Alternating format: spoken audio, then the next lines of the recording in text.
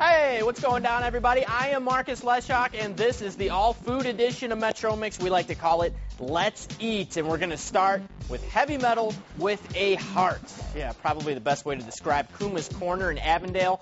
Since opening up shop in 2005, the bar restaurant's become a staple to the ever changing neighborhood. They have 27 burgers on the menu, all named after classic metal bands, and a huge list of local and imported beers. So if you're one of those burger and beer nuts, you'll definitely want to rock this place out.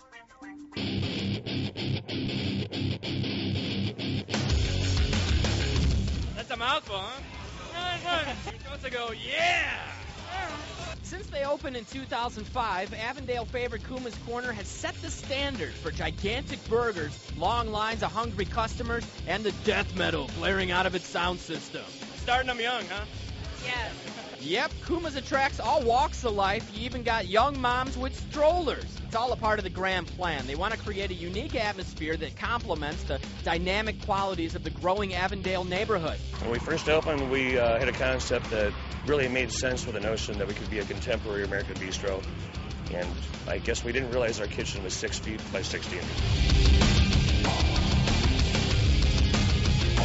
Another thing Kuma's is known for being tiny. I mean, the place, it's about as big as your living room. But that's not necessarily a bad thing. Customers, they can wait up to two hours and they dig into one of the 27 burgers on the menu. All right, so this is the kitchen here at Kuma, 6 by 16. I mean, this thing is like a shoebox back here. 150 burgers an hour come out of this. It's crazy. Some of these dishes are named appropriately, in my opinion. Yeah. You know, our uh, our Judas Priest burger has fruits and nuts on it, so the uh, Chicago City Council, which is a burger that's topped with foie gras. They should certainly be recognized for that wonderful decision they made with taxpayer money a couple years ago, and I, I know that a lot of people could have used that taxpayer money to eat and just sleep warm and kind of stay safe, but instead we couldn't eat goose liver, so that's my homage to them. So what is this guy here? Neurosis, Swiss cheese, cheddar, horseradish mayo, sauteed mushroom, and sauteed uh, onions.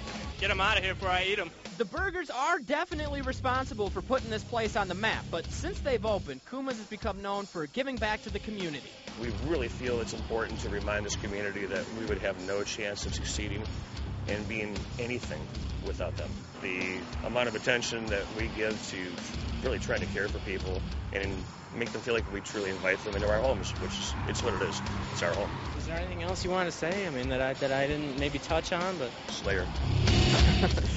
Slayer, yeah, Kuma is crazy busy almost every night of the week. Your best bet is to get there before 4 p.m., unless you don't mind waiting up to the two hours that I told you about. The burgers, they hover around 10 to 12 bucks, and they're having a big anniversary party this August. You can find out more info about that and our experience with the burgers on our blog entry, cltv.com slash Metromix, so check that out.